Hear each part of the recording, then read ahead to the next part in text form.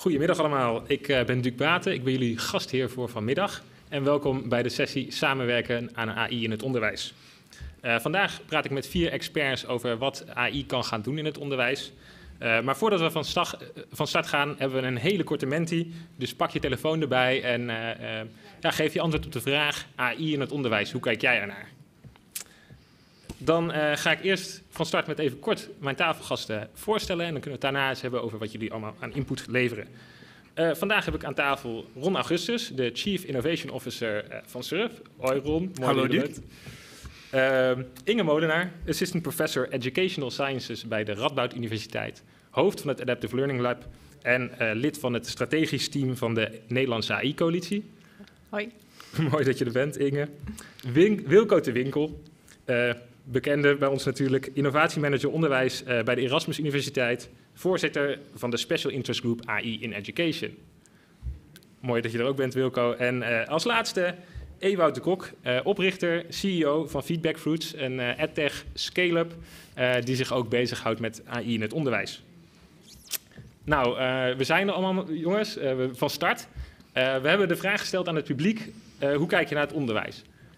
Nou, volgens mij zien we al een redelijk duidelijk nautisch signaal uh, naar voren komen. Kunnen jullie je daarin vinden? We mogen de boot niet missen. Als ik daarop kan reageren, denk ik dat, de, dat het zeker zo is dat we de boot niet mogen missen. Dat we eigenlijk nu het, de komende tijd ook de mogelijkheid hebben om het, het, het roer vast te pakken, of het stuurwiel vast te pakken, om te gaan sturen. en dat we eigenlijk nog wel een zeiltje bij kunnen zetten. Ja, dat is uh, een hele. We zitten hier met een paar zeilers aan tafel. Dat is toch genieten. Die uh, inside jokes, dit thema had niet beter kunnen zijn, wat mij betreft. Volgens mij moeten we gewoon snel naar de inhoud gaan. En gaan we eerst met jou in gesprek, Inge. Ehm, jij bent altijd al bij, bezig eigenlijk met AI in het onderwijs. waarom moeten we het daarover hebben? Wat, wat, kunnen we daar nou mee gaan doen als Nederlands onderwijs? Ja, wat je op dit moment ziet, uh, Duke, is dat we in uh, toenemende mate natuurlijk digitaal zijn gaan werken. Uh, en daarbij worden grote hoeveelheden data verzameld.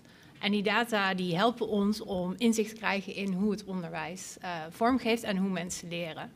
En dat doen we al met Learning Analytics. En je ziet eigenlijk in toenemende mate dat die Learning Analytics gebruik gaan maken van artificiële intelligentie en de technieken die erbij uh, van mogelijk zijn om ook echt goed inzicht te krijgen in die leerprocessen van de studenten, maar ook om leerkrachten te ondersteunen om vorm te geven aan die leerprocessen. En dat zie je zowel op het niveau van de detectie, dus je kunt verschillende datastromen gebruiken om uh, te detecteren hoe leerlingen en studenten leren, maar ook op het niveau van diagnostisering en op het niveau van de interactie. Dus je ziet eigenlijk over de hele breedte van het onderwijsveld dat we artificiële intelligentie kunnen gaan toepassen op die verschillende En, en, en diagnostiseren, dat gaat dan over hoe een student het doet? Dat kan gaan over welke kennis de student verzameld heeft. Maar het kan ook gaan over de zelfregulatie, de motivatie, de engagement. Dus je kunt allerlei verschillende uh, processen proberen te diagnosticeren aan de hand van het dataspoor van studenten. En die kun je als docent of als student zelf vervolgens weer gebruiken om beter vorm te geven aan je eigen leerproces of aan je onderwijsproces. En um wat is er dan nodig in, uh, we willen hiermee aan de slag, wat is er nodig om AI in het onderwijs uh, eigenlijk tot een succes te maken? En nou, onderwijs is natuurlijk een heel interessant toepassingsgebied van de artificiële intelligentie. Uh, maar het betekent ook dat het toepassingsgebied zelf gemobiliseerd moet worden. Dus het is heel erg belangrijk dat wij als onderwijsveld zelf gaan bedenken hoe we artificiële intelligentie willen toepassen, waar wij de mogelijkheden zien en op welke manier we daar met elkaar gebruik van kunnen maken. En dat betekent dus dat we echt in interdisciplinaire teams met elkaar moeten gaan samenwerken, waarbij we zowel onderzoek als onderwijs, als bedrijfsleven aan tafel hebben om vorm te geven aan die nieuwe vormen van gebruik rondom artificiële intelligentie. Ja, dat klinkt, uh, klinkt prachtig. Ik heb, nog, ik heb nog een kort vraagje. Jij uh, focus je nu vooral in je werk op het uh, primair onderwijs en het voortgezet onderwijs, toch? Ja. Ehm, wat kunnen we daar als hoger onderwijs nou van leren als je ziet van wat er daar gebeurt ten opzichte van wat we nu in het onderwijs doen? Ja, meestal is het andersom. Dus meestal leer de uh, fundamentele uh, onderwijsvormen van het hoger onderwijs. Maar wat je nu ziet is dat eigenlijk fundamenteel onderwijs in Nederland verder is met het invoeren van adaptieve leermiddelen. Uh, zeker in het basisonderwijs worden die op grote schaal gebruikt. Dus je ziet dat ongeveer 60% van onze leerlingen in het basisonderwijs dagelijks met een tablet en een adaptief leermiddel werken. Nou, daar zijn we in het hoger onderwijs zeker nog niet. Uh, en ik denk dat ondanks dat de vorm anders is van de adaptieve leermiddelen, we zeker uh, gebruik kunnen maken van elkaars expertise en de ontwikkelingen die op allerlei niveaus in die adaptieve leermiddelen plaatsvinden. zowel op het niveau van de feedback als het uitserveren van verschillende leermaterialen, als op het niveau van de interactie. Ja, precies. Dat klinkt super interessant. We gaan nu even naar een andere tafelgast. We zullen dus direct ook wat meer discussie hebben, verwacht ik zo. Hm. Uh, Ron, uh, ik wil jou graag vragen eigenlijk, hoe zie jij nou uh, als Sino van Surf de rol van Surf voor je als het gaat om AI in het onderwijs?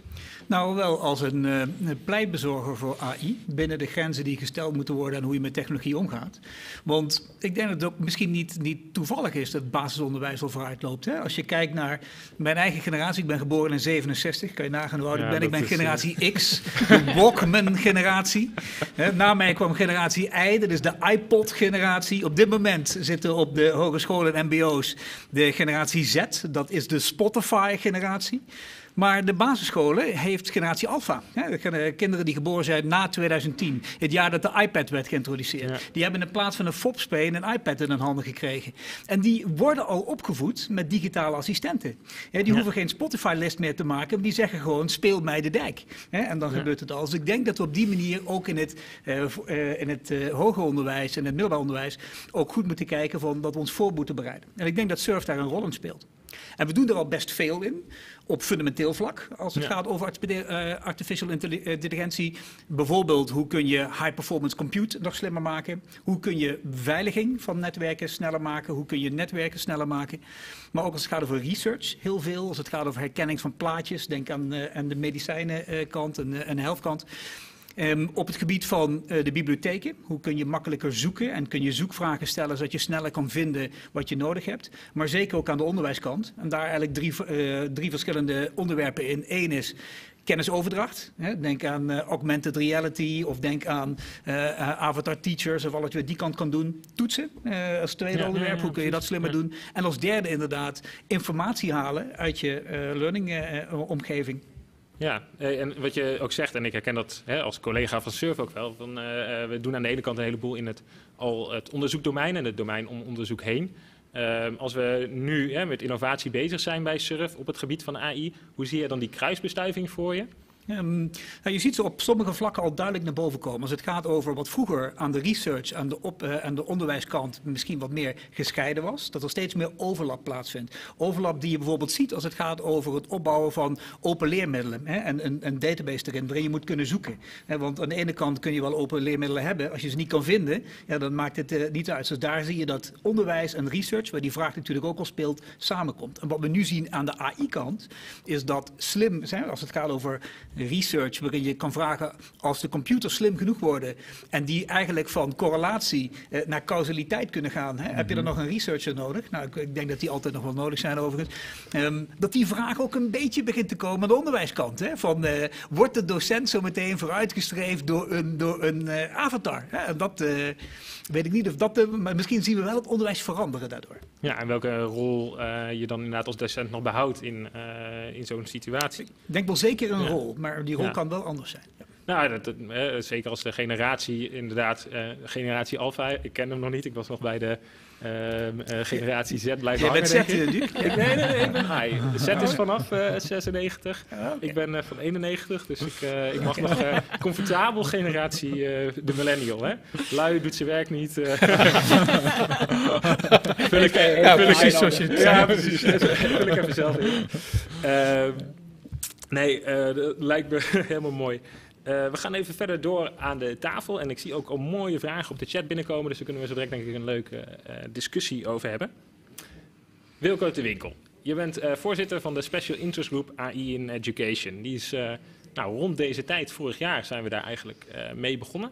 Kan je vertellen ja, wat er eigenlijk gebeurt en wat jullie aan het doen zijn? Dit jaar was natuurlijk een bijzonder jaar. Uh, uh, dus het, uh, wat, wat uh, de, de, afgelopen jaar hebben gedaan is eerst eens even een, stap terug van waar zijn we van en waar kunnen we elkaar vinden. En wat ik echt prachtig vind is het resultaat aan het einde van dit jaar dat we echt uh, vol gaan voor docentondersteuning uh, in het onderwijs middels AI-tooling. En um, vanaf begin dit jaar, volgend jaar, zullen we good practices van HO Nederland inventariseren. Wat ik merk binnen de Erasmus Universiteit is dat AI, dat is iets van de toekomst. En misschien ook wel een beetje griezelig. Ehm, maar je ziet prachtige voorbeelden. Ehm, die willen we ophalen. dus inventariseren en ook gaan waarderen. Want als je de lijstjes ziet, dan het, het, zijn enorm veel mooie voorbeelden. Tegelijkertijd zijn er wel dingen in termen van dataverwerking uh, waar je aandacht voor moet hebben. Dus zowel vanuit een privacyperspectief als een ethisch perspectief. Dus wat we heel nadrukkelijk willen doen is uh, inventariseren, waarderen en docenten in staat stellen om te gaan spelen. Speeltuintjes creëren ja. om te ervaren wat, uh, wat die applicaties kunnen doen in hun eigen onderwijs. Op welke manier ze daar profijt van kunnen hebben ja. en studenten profijt kunnen hebben in het leerproces. Nou, dat klinkt, uh, klinkt te goed. Hoe, hoe kijkt de zich naar de uitdagingen die uh, ook met AI uh, komen? ook daar hebben we natuurlijk oog voor. Sterker, ik denk dat het randvoorwaardelijk is. Dus, dus er zijn twee subgroepen in de SIG die specifiek ingaan op visieontwikkeling AI in het onderwijs. en het tweede gaat in op ethiek. En dus uh, eigenlijk, uh, wij omarmen zeg maar, de Europese Unie uh, privacyomgeving, uh, de bepalingen natuurlijk. Maar er is ook een mooi ethisch raamwerk en we willen dat in ons voordeel gaan inzetten. En het is toch uh, een beetje het populaire driedeling. Uh, AI in China is meer naar de overheid toegericht, in de VS meer voor het bedrijfsleven. En we willen hier nadrukkelijk dat AI ingezet wordt voor de burger en voor de lerende. En, en nou, je zegt het eigenlijk al, uh, is de burger dan inderdaad de docent of de student, uh, maar inderdaad de, de lerende, ja. die moeten daar ook echt wel profijt van hebben dan uiteindelijk. Zo is het. Ja, nee, daar kan ik me helemaal in vinden. Ik denk dat het heel belangrijk is dat we uh, het niet doen om uh, kosten te besparen. Zo is of het. om uh, dingen. het gaat uiteindelijk om het leerproces verbeteren en zorg dat je het onderwijs nou ja, positief beïnvloedt. Zo is het. ik dank jou, Wilco. We gaan even naar Ewout, naar de overkant. En dan gaan we zo direct verder met wat vragen uit de chat. Ja. Um, Ewout, jij zit hier namens Feedback Fruits, een nou, bekende edtech scale-up zou ik zo wel willen zeggen. En jullie zijn ook bezig uh, met AI en wat dat voor jullie product en dienst kan betekenen. Ja. Uh, hoe, hoe, zijn jullie daarmee bezig? Hoe kijken jullie daarnaar?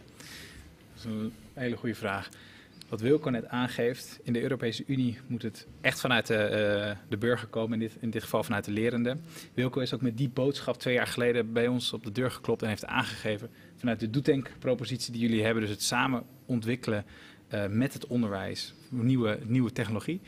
Um, uh, laten we kijken wat AI kan doen voor het efficiënter maken van nakijkprocessen. Maar waar we mee begonnen, waren geen regels code. Maar dat boek wat Wilco ons in de handen gaf, met die AI-guidelines, daar zijn we mee begonnen. Wat zijn de guidelines waar wij ons binnen willen begeven? Wat zijn de uitgangspunten waar wij de architectuur op moeten gaan bouwen? En dat vind ik een mooie. Dat, dit is een mooi moment. Het is nog een vloeibaar moment. Uh, we zitten nog echt in de pionieringsfase. Dat betekent dat het nog heel erg vormbaar is. Dus ik denk dat dat is het leuke waar we, waar we nu spelen. En als ik zo de resultaten zie, dan denk ik, ja, het publiek wat hier zit, wat misschien selection bias is, maar goed, uh, die, die zit daar duidelijk ook over na te denken van, ja, wij moeten nu instappen, want we kunnen nu vormend optreden. En dat is iets nieuws, ook iets nieuws voor uh, hoger onderwijs Nederland. We zijn gewend om te werken met bedrijven over zee, die, ja goed, uh, al te groot waren om nog echt beïnvloed te worden, uh, zeg maar. En nu zien we gewoon vanuit Nederland een, een ecosysteem ontstaan, een edtech-ecosysteem, die dus ook heel goed beïnvloed kan worden. En omdat wij nu zelf die overstap hebben gemaakt naar Amerika en naar Australië, merken we ook wat dat voor voordeel biedt. Ja. Het feit dat wij ons aan GDPR behouden, uh, zeg maar, um, dat dat onderliggend fundament is, dat zorgt ervoor dat wij veel sneller in die markten kunnen groeien. Het zou fantastisch zijn als we ook vanuit Europa zo'n AI-framework, zo'n AI uh, ja, voorwaarden kunnen neerleggen die uiteindelijk datzelfde doet. En dan aansluitend op wat Wilco eigenlijk zegt, dat we uh, bezig zijn met vormend het AI uh, in Nederland scheppen en niet volgend ja, de, de waarde overzees importeren door middel van de tools die ze bij ons op de voordeur achterlaten. Ja. Um, Jullie werken al veel samen. Wat denk je dat er belangrijk is in de samenwerking tussen de onderwijssector en edtech, uh, start-ups, scale-ups, bedrijven, ja. uh, om met dit soort uitdagingen om te gaan? Ja, dat is een hele goede vraag. Ik denk een bepaalde vorm van vertrouwen. Het is belangrijk dat je dat inziet dat het ene bedrijf is het andere niet. Uh, en daarmee bedoel ik te zeggen is van het, het, de grote, grote multinationals die we hier hebben, die zijn op een manier natuurlijk lastig te vormen, lastiger te vormen dan de, de start-ups en de scale-ups die hier vanuit Nederland komen. En um, dat op, op basis, hè, dat is ook de reden waarom Wilco twee jaar geleden aanklopte, dat was omdat er al een vertrouwensrelatie was. Er was een relatie dat de, de motivatie van waar wij, waar wij uit ontwikkelen, dat dat de juiste is. En ik denk dat we moeten niet naïef zijn. Hè. Bedrijven groeien, worden ook groter. Maar um, als je een, uh, op, op de, als het vertrouwen, als dat de onderliggende basis kan zijn, uh, dan denk ik dat we al een heel stap, uh, stap verder zijn. Ja. ja. Ja. ik denk dat het ook belangrijk is en dat, dat die samenwerking, de experimenten die jij net al noemde, Ron, daar ook de eerste stap in kunnen, kunnen zijn. Ja. Um, ik zie ondertussen een heleboel dingen in de chat binnenkomen, dus dat is mooi. Dat betekent dat we in ieder geval een snaar raken. En de eerste vraag die ik zo gauw kon, vonden, kon, vinden kwam van Casper Maas. Die zegt het lijkt, voor het lijkt dat met name het hoger onderwijs nog wat terughoudend is over de inzet van AI slash learning analytics. Hoe kijken jullie daarnaar? Ik zie al wat, wat knikkende hoofdjes hier. Iemand die daar uit eigen ervaring wat over kan vinden. Nou ja, ik denk dat we, dat we zien dat uh, studenten ook heel mondig zijn in het verwoorden van hun eigen positie in deze transitie. En dat is ook heel belangrijk. Het gaat ook over hun privacy en over hun normen en waarden. En daarom is het des te belangrijker dat we dit met partijen lokaal kunnen gaan ontwikkelen. Omdat we daarmee ook de waarden en normen die wij belangrijk vinden kunnen verankeren in de algoritmes. En dat gaat echt niet gebeuren als we dat gaan doen met bedrijven uit China of uit, uh, uit Amerika. Dus ik denk dat het super belangrijk is om inderdaad dit soort samenwerkingen op te zetten. En daarmee ook goed oog te hebben voor die uh, ethische kant. En met elkaar goed na te gaan denken over een framework waarin we die, uh, vooral de ethische privacy-achtige aspecten voor studenten goed kunnen bewaken. En dat is op dit moment nog, nog steeds toch wel een beetje een openstaand punt, denk ik. Ja, daar ben ik het mee eens. Ik, ik denk dat we in het hoger onderwijs um, het niet zozeer voor studenten moeten gaan doen, maar samen met studenten en docenten moeten gaan, uh, gaan, uh, gaan oppakken. En die discussie loopt op dit moment op allerlei vlakken. Dus er, wordt, er gebeurt wel heel veel. Ik denk dat het ook zo kan zijn dat er nog een beetje argwanend gekeken wordt in het kader van privacyregels, et cetera. Van goh, wat kan wel, wat kan niet. En dat sommige instellingen ook denken van goh, hmm, klinkt moeilijk, laat ik het maar eens een beetje achterwege laten. Um, terwijl er net ook een mogelijkheid zit om door deze technologieën onderwijs zelf te vernieuwen. Om daarom mee te experimenteren, ja. om nieuwe zaken te kunnen gaan doen. Dus om een stap ja. verder te, te, kunnen komen. Ja. Dus we moeten het samen doen. En we moeten de voorwaarden zelf scheppen. Uh, en niet afwachten tot een wetgever in de EU of wat dan ook dat voor ons gaat doen. En misschien is daarop aanvul. Um, wat, uh, wat bij mij uh, in, binnen de Erasmus Universiteit heel nadrukkelijk als feedback werd gegeven, is dat we toch geen digitale universiteit worden. En ik, zeker in bij van Inge, we moeten het met de studenten doen, maar we moeten het ook met de docenten doen. Uh, waarin ze eigenlijk de hele tijd op zoek is naar een nieuwe balans van wat kan AI goed doen.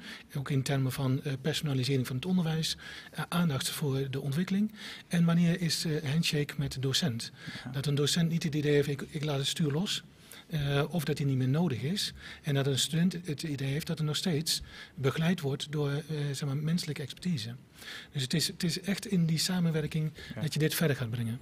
Ja, als ik daar op mag aansluiten, ik denk een uitgangspunt van dat de digitalisering van onderwijs eigenlijk ruimte zou moeten maken voor beter en inhoudelijkere menselijke interactie.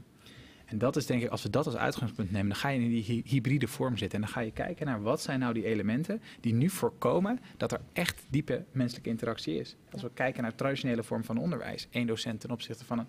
Dat is niet de hoogste vorm van menselijke interactie.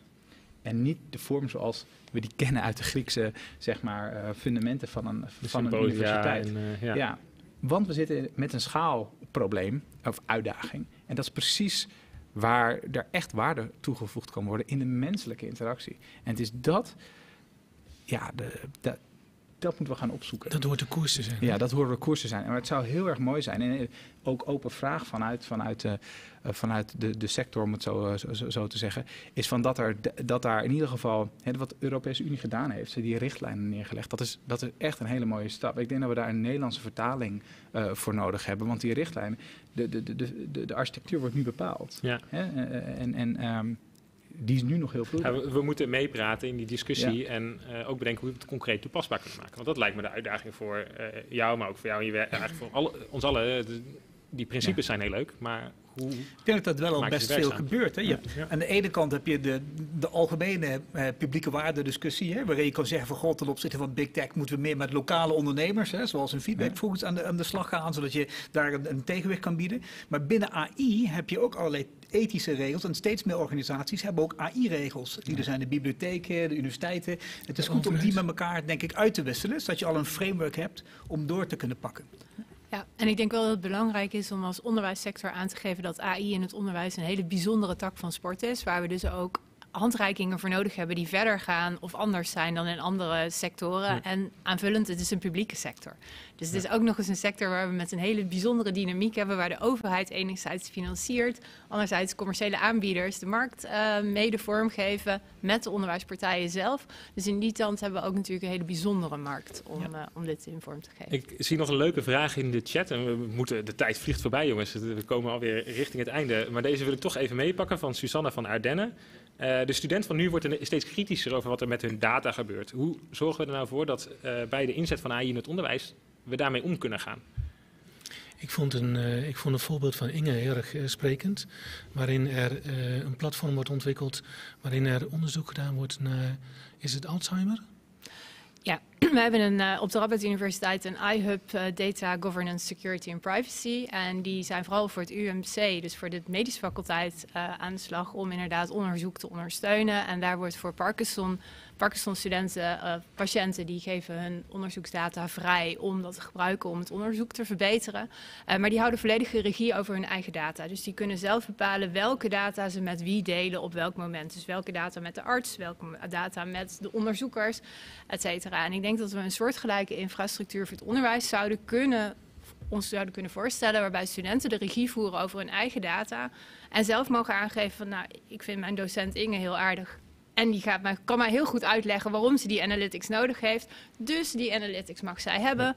Maar op andere momenten vind ik het prettiger om die eh, informatie zelf te behouden. En als we zo'n infrastructuur neer kunnen zetten, en dan hebben we ook partijen eh, nodig die dat vervolgens doorverwerken in hun product. Want op dit moment is het aan of uit. Dus het is een alles of niets Ja. verhaal. Dus je moet ook echt gaan zoeken dan naar die verschillende mogelijkheden. Maar dan hou je de regie ook echt bij de student. En dan eh, wordt voor de student ook steeds duidelijker, denk ik, waar de meerwaarde voor hem of haar ligt. Want Ja. dat is natuurlijk dan de afweging. De tijd eh, vliegt echt, eh, dus we zijn alweer richting het einde van deze sessie. Eh gaat heel erg snel. Eh, ik wil graag nog even een kort rondje langs iedereen doen eh, met een afsluiter. Ehm, eh, laatste mededeling. Eh Ewout, wat zou jij de mensen thuis nog even mee willen geven? Ik zou dit willen meegeven. Laten we denken in co-creatie in plaats van polar- polarisatie. Dus laten we echt kijken naar eh, ehm, de stemmen moeten gehoord worden. Mensen mo- eh, eh, en, en echt vormgeven in het co-creatieproces. Zodat we, zodat we iets kunnen neerzetten waar we gewoon later trots op kunnen terugkijken. Ik denk dat dat eh, mijn eh, Super. uitsmijter is. Inge? Ja, ik sluit me daar volledig bij aan. Eh, je kunt AI op heel veel verschillende manieren inzetten in het onderwijs. En het is vooral echt heel belangrijk dat het onderwijsveld zelf de regie in handen gaat nemen en gaat nadenken over hoe ze die nieuwe, waardevolle manieren op een goede manier in- integreren in hun werkproces. Nou, helemaal top. Wilco? Ik zou echt willen oproepen eh, in de richting van de onderwijsinstellingen om echt eh, in, in verbinding te komen met elkaar. Maar ook intern natuurlijk met docenten en studenten. Maar dat we als sector naar voren stappen en aan het roer komen. eh, zodat we echt eh, die ontwikkeling van AI in ons voordeel in kunnen gaan zetten. Eh, heel mooi. Ron? Ja, wellicht kunnen we hier als server een rol in spelen om ook die eh, uitwisseling samen met de SIX, et cetera, mogelijk eh, te, kunnen, maken. Ik zou zeggen, blijf experimenteren eh, met, met AI, omarm het. Zorg wel dat de kaders van de ethiek ook helder ingevuld zijn en zorg dat iedereen weet wat er, wat er met zijn eigen data gebeurt. Misschien als laatste zou ik nog zeggen, omdat iedereen nou aan het experimenteren is met algoritmes op data ehm, en leert over hoe je op die manier omgaat met, met AI, dat die algoritmes ook open eh, gebracht worden. Dat je ze deelt met elkaar. Dat je met name leert over hoe je leert rondom AI. En ik denk dat daar Ja. ook een rol speelt om dat open te zetten. Kruisbestuiving, meer eh, Ja. samen. Ja. ja, dat is. eh, ik denk dat we hier redelijk. we zitten een beetje in dezelfde, dezelfde vibe, dezelfde stemming allemaal. Ehm, maar dat maakt hetzelfde, schu- hetzelfde schuitje. Dan maakt dit misschien wel, juist wel extra leuk. Ehm, voordat ik eh, jullie allemaal ga bedanken, wil ik de luisteraars thuis nog even wijzen op eh eerste instantie de SIG AI. Eh, we hebben ook van Surf een AI-pagina, die is gelinkt in de chat. Daar kan je meer informatie vinden. Ehm, eh, bij de borrel straks zijn wij of een deel van ons aanwezig in Klein Café nummer 16 voor de naborrel. Dus dat is ideaal voor de mensen die hierover verder willen praten. En we hebben nog bij Surf een AI Innovators podcast waar we ook verder praten over dit onderwerp. Ik, oh, ik raakte de microfoon aan, dat is nooit een goed idee. Eh, ik eh, wil jullie alle vier graag eh, bedanken voor vandaag. Ook de mensen van de techniek en Caspar eh, vanuit de achtergrond. Iedereen thuis bedankt voor eh, jullie deelname aan deze sessie. En ik zou zeggen, ahoi en tot de volgende. Goeie vaart. Goed gedaan, Dick. Dankjewel.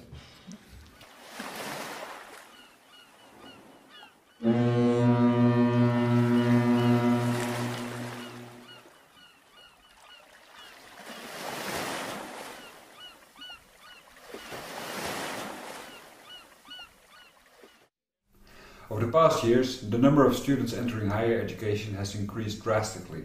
While this is definitely a good thing, it does also mean that teachers have much less time to give individual feedback to students. While we do know that students really need feedback to learn and improve their writing skills. Students who wrote, wrote an essay or an assignment are keen on receiving feedback, but it takes such a long time to produce high quality feedback that by the, the time that the students receive it, they've moved on to a different subject. And they, they, they don't learn as much if the feedback is postponed for a long time. And it's not only the quantity of feedback that has decreased. Students need feedback in time, but teachers' high workloads often cause long delays before feedback finally reaches a student. By that time, the effect of feedback is drastically diminished. Furthermore, our educators have to spend so much time checking formalities for all their students that they rarely have time to go in depth where it really matters higher order skills, such as critical thinking and proper academic discourse. To cultivate these, we must unburden our teachers. Let's use AI to overcome this problem. In the last year, the Feedback Fruits team has been working hard on automated feedback, a tool that unburdens the teacher by reducing the reviewing workload and minimizing repetitive feedback. With that out of the way, the teacher can now focus on guiding their students where it matters most. For students, this means that they have an additional source of feedback, raising the quality of their writing and stimulating active learning. Is technology enough to solve this problem? Um, I think it's always about uh, collaboration between the technology and the people that work in practice. So I think we might do a little bit more research on how the teachers would like to use this tool, and uh, that will be exciting to do. We need you to help us out. Let's innovate together and make sure students get the quality feedback that they really need. Sign up now.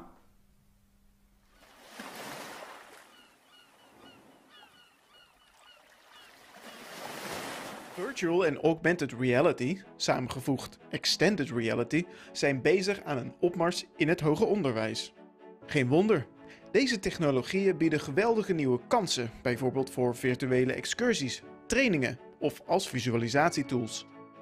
Om kennis, applicaties en best practices te delen, heeft de Universiteit Leiden samen met diverse onderwijsinstellingen XR Era opgericht. Een open community voor XR in het onderwijs. Als het aankomt op het maken, het gebruik en de implementatie van educatieve XR-ervaringen staan we nog voor een aantal grote uitdagingen. Zo worden apps bijvoorbeeld vaak niet gedeeld tussen onderwijsinstellingen, terwijl er veel content is die anderen ook goed zouden kunnen gebruiken. Daarnaast wordt er ook niet altijd efficiënt ontwikkeld. Universiteiten en hogescholen maken vaak applicaties voor dezelfde doeleinden. Dat is zonde, omdat het ontwerp en de ontwikkeling van een XR-ervaring kostbaar is.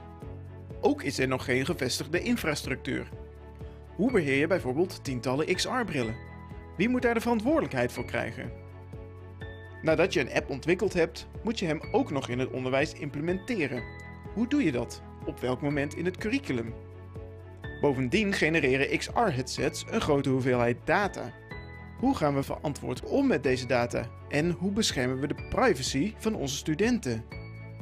Tot slot is er een gebrek aan degelijk onderzoek naar de effecten en effectiviteit van XR in het onderwijs.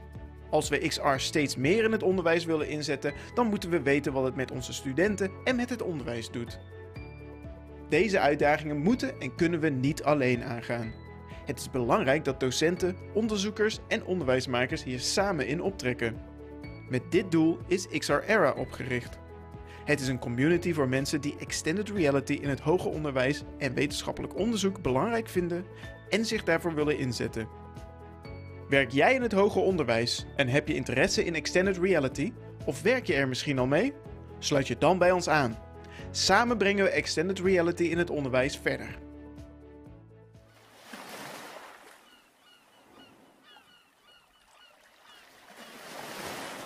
Noordhof introduceert een nieuw innovatief leerproduct, Studiemeister. Waar je ook bent, met Studiemeister vind je al het studiemateriaal op één plek en studeert een student op ieder gewenst moment. Met deze slimme online leertool helpen we studenten om efficiënter te studeren en docenten gerichte les te geven. Klinkt goed toch? We leggen je graag uit hoe dat werkt. Studiemeister is een online lesprogramma, samengesteld door een docent. Dat betekent dat een student zeker weet dat hij precies leert wat nodig is om zijn studiepunten te halen. Bovendien betaalt een student alleen voor de hoofdstukken die worden gebruikt. Zo betaalt een student nooit te veel. Oké, handig. Hoe werkt dat? Vraag een account aan via de site. Als docent zet je een cursus klaar voor je klas. Daarna stuur je je studenten een unieke cursuscode. Deze code heeft een student nodig om toegang te krijgen tot het vak en de klas. Zodra een student toegang heeft tot de cursus, weet je zeker dat hij niks meer mist. Het enige wat een student hoeft te doen is de slides door te nemen, gevolgd door een oefentoets. De uitkomst daarvan maakt direct duidelijk waaraan een student nog tijd moet besteden. Kent een student het al voldoende? Dan kan hij zich gaan richten op de onderdelen die nog niet goed gaan. Dat is lekker efficiënt studeren. Ook handig, jij als docent monitort de voortgang van de groep en kan zien welke onderwerpen goed en minder goed gaan. Deze informatie geeft jou als docent input om de les zo effectief mogelijk in te richten. Ook werken met Studiemeister of meer weten? Ga naar www.studiemeister.nl/docenten en vraag direct een gratis proefaccount aan. Studiemeister. Gericht lesgeven aan geactiveerde studenten.